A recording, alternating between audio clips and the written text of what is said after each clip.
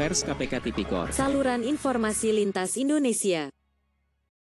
Akses jalan desa menuju kecamatan rusak masyarakat desa Sadu mengeluh. Musi Rawas, Pers KPK Tipikor masyarakat Sadu sungguh sangat mengeluh dengan kondisi jalan Sadu saat ini, tanggal 21 Juni tahun 2023.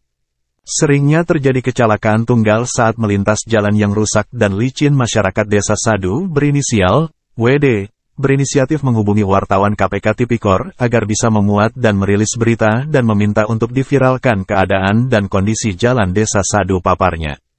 Harapannya agar segera ada upaya perbaikan jalan-jalan yang rusak parah tersebut, supaya masyarakat lebih nyaman saat melintas jalan ini. Terlebih lagi anak-anak yang mau sekolah melintasi jalan tersebut, terkadang putar balik ke rumah akibat jatuh di jalan yang berlumpur, sehingga tidak masuk sekolah karena pakaian sudah penuh lumpur dan kotor. Dari keterangan, WD, kadang, kadang kesihan lor nyingok budak nak sekolah laju balik ke rumah lagi, karena pakaian sekolah lah kotor galek.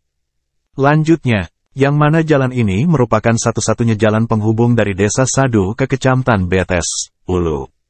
Yang mana untuk memenuhi kebutuhan dan keperluan sehari, hari jika tidak ada di warung-warung di desa, mereka, warga, harus ke pasar terdekat untuk memenuhi kebutuhannya, yang ada di pasar kecamatan Betes, Ulu, yang mana jarak tempuhnya juga tidak terlalu jauh.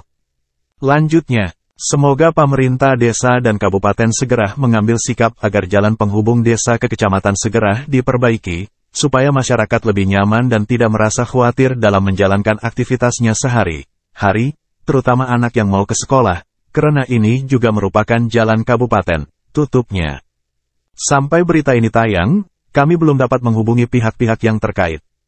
Teh KPK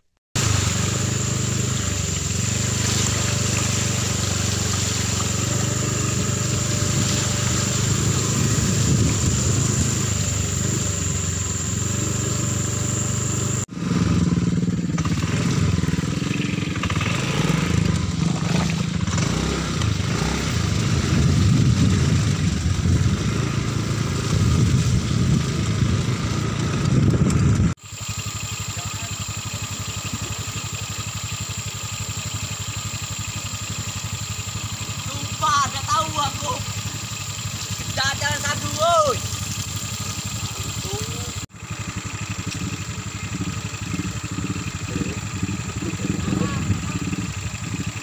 Lembet aja. Gas langsung. Dalam duduk.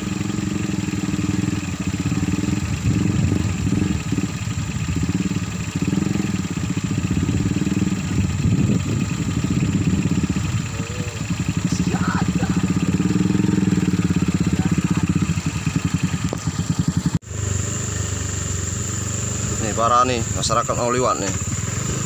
Nah ini dia.